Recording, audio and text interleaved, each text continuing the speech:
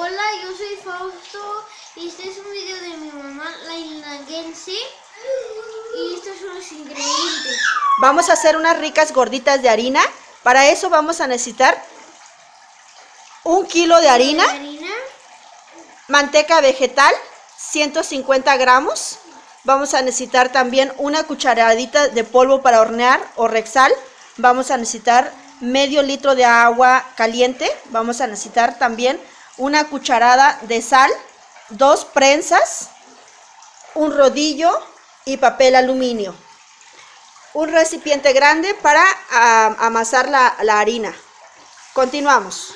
Vamos a vaciar el kilo de harina al recipiente. Vamos a agregarle una cucharada de Rexal, una cucharada, una cucharada de sal, así porque es media y escopeteada. La, la manteca inca, 150 gramos de manteca inca. Ok, vamos a amasar. Y el medio de, de agua se va al microondas dos minutos para después incorporarlo aquí a la, a la, a la harina. ¿sí? Ahora le vamos a poner medio litro de agua. Medio litro de agua. ¿Sí? Ok. Y esto se lo vamos a poner poco a poquito. Le pusimos una parte. Sí, y una parte. Y no tengo que mostrar antes la cara. Ahora le vamos a poner a otra parte. Y seguimos amasando.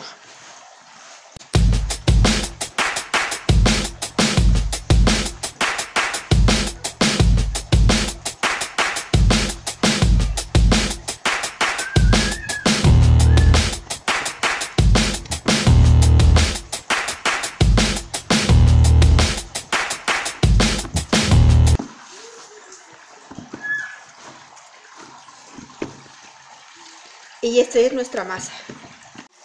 Aquí ya la tenemos en, en una bolsa de, plástico y se dan cuenta está como sudando, pero es que se está extendiendo la masa y aquí como mencioné hace rato la vamos a dejar por unos 40 minutos. El aluminio, la función que tiene es lo siguiente, es envolver las planchas de esta manera para no quemarnos y que el calor se conserve y la gordita pueda cocerse más rápido. Para eso es el papel aluminio. Sí. Eh, vamos a poner a calentar las planchas bien calientes sobre el comal caliente un buen rato que quede más o menos unos 30 minutos para que obviamente cuando se hagan las gorditas puedan hacerse muy bien. Ok, dejamos pasar una hora la masa y está buenísima. Miren, vamos a sacarla para que se vea. Suavecita, suavecita. ¿Ok? Vamos a, medir con el puño de la mano, así, cerrado, ¿ok? Y sacamos la bolita. Ahora, la técnica es esta. Metes los dedos estos en medio de la masa y haces esto, dando vuelta, ¿ok? De esta manera. Cierras y haces esto. Tenemos una y así repitas la operación cuantas veces creas necesario. ¿Ok? 27 testales salieron del kilo de, masa, es decir, 27 eh, gorditas. Esta es la más grande. Y aquí está, ahora vamos a realizar las gorditas. ¿Qué vamos a necesitar, ok? Vamos a necesitar ahora sí el rodillo, el cuchillo ya sin agua, harina en caso de que sea necesario y las bolitas, las, los testales, perdón. Agarramos el testal, ¿ok? En este caso lo pasamos un poquito de harina, lo ponemos ahí y le damos con el rodillo. ¿Ok? Más o menos así. Y lo vamos a poner en el comal caliente. Se queda un, un rato ahí. Obviamente continuamos haciendo la operación.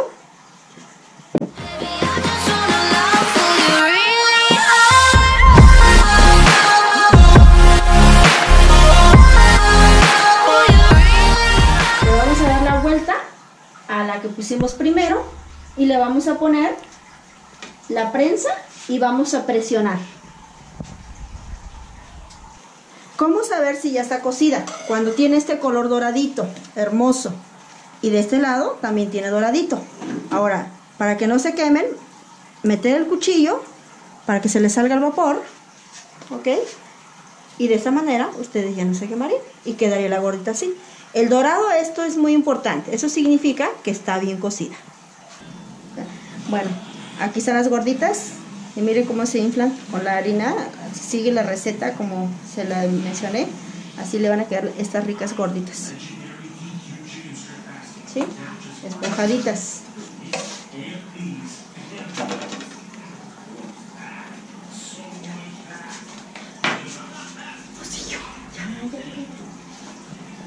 Ya, Beto, ya. Amigos, aquí ya están listas las gorditas de harina, ricas y listas para rellenar, porque ya está a punto de comenzar el primer partido de las finales de conferencias de la NFL. Allá tenemos unas ya rellenas de maíz y vamos a ver cómo la rellena Candy. Listo, tenemos las gorditas de harina, riquísimas, estilo la hidalguense. Y este, espero que las hagan, es muy fácil también de hacerse, sigan la receta. Y nos vemos a la próxima, espero sus pulgares arriba.